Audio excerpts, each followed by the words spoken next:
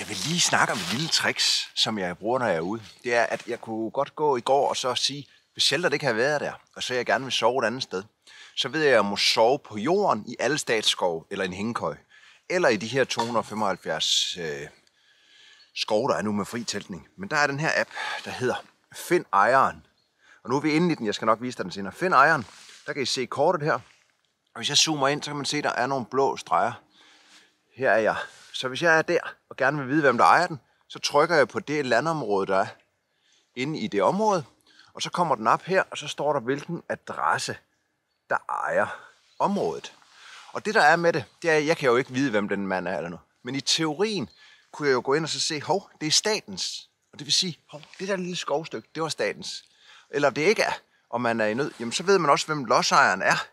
Øhm, og det er jo ikke sådan, at jeg skal ringe til en lodsejer og spørge, må jeg sove på din jord? Fordi det vil de jo blive træt af. Men det er jo mere bare for at sige, jamen hvor er jeg henne? Fordi statsskoven kan godt gå lidt anderledes, og det er meget sjovt. Den hedder Find Ejeren, og den ligger derovre.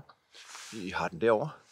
Øh, en lille sjov app at have med, ligesom I kan se. Jeg har øh, Shelter-appen også, øh, og hvad den anden jeg har. Det er brug min baghave, ja. Den har jeg ikke brugt så meget. Det er jo den her med, at man kan sove hjemme i folks baghave. Men øh, jeg er ikke så social. Men øh, det er et rigtig fedt initiativ også. Men øh, tilbage til pausen.